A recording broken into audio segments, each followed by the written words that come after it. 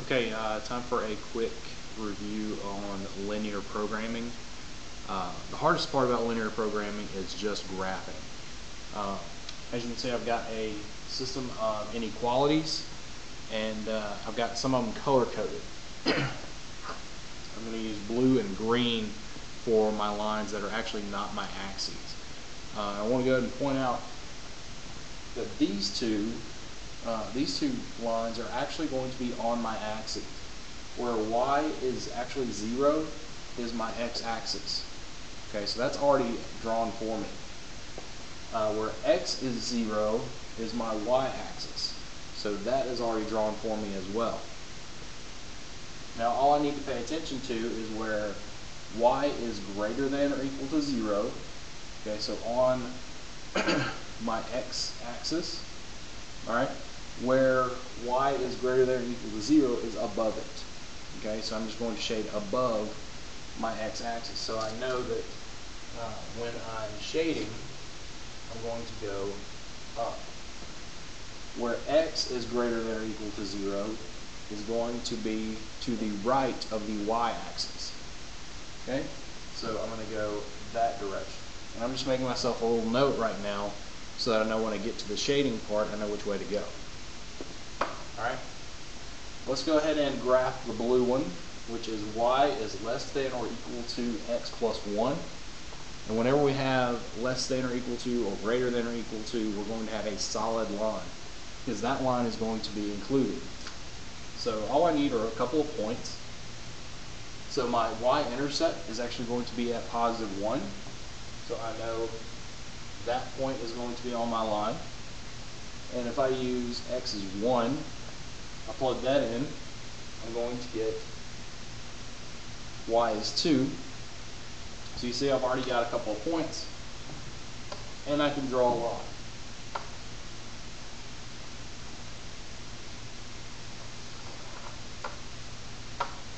There we go. Alright, so that's one of my inequalities already graphed. Okay, it's going to be a solid line. And then the second one is just less than. So that means I'm going to have a dotted line this time. But I still need to know where it's going to go. Well, my y-intercept is 4, because if x is 0, then the value of y just becomes 4. So I have a point here. Now if I plug in 1 again, I get negative 2 times 1 is negative 2, plus 4 is going to give me positive 2 that point is actually shared with that blue line there. Since I already have two points, I can go ahead and draw this line.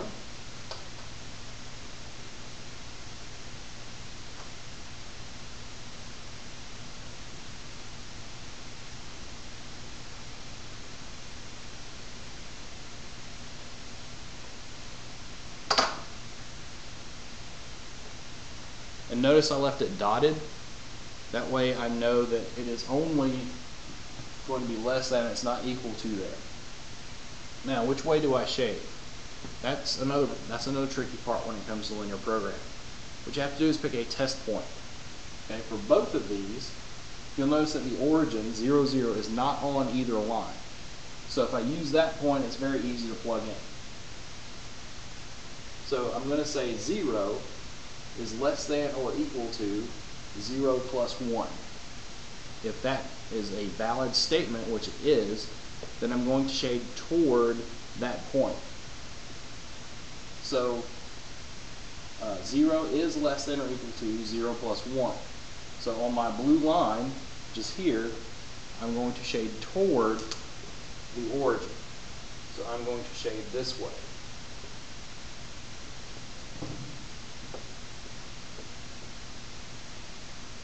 Okay? Now, with my green line, okay, I'm going to do the same thing. Because here's my green line and the origin is still here. So 0 is that less than uh, negative 2 times 0, which is 0, plus 4. And it is. Because 0 is less than 4. So, from my green line, I'm going to shade this direction.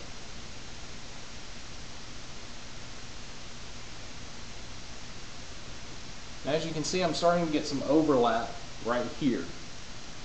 All right, but don't forget, we also have our axes to deal with. So in red, I'm going to shade up from my x-axis, and I'm just going to leave it in this region that's already overlapped.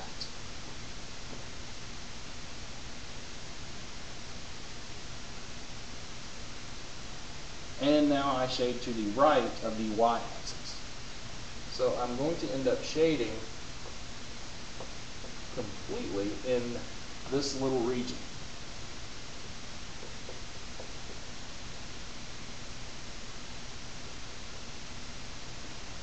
Okay?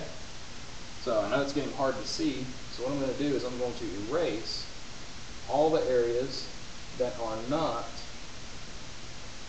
completely overlapped so that we can see them a little bit.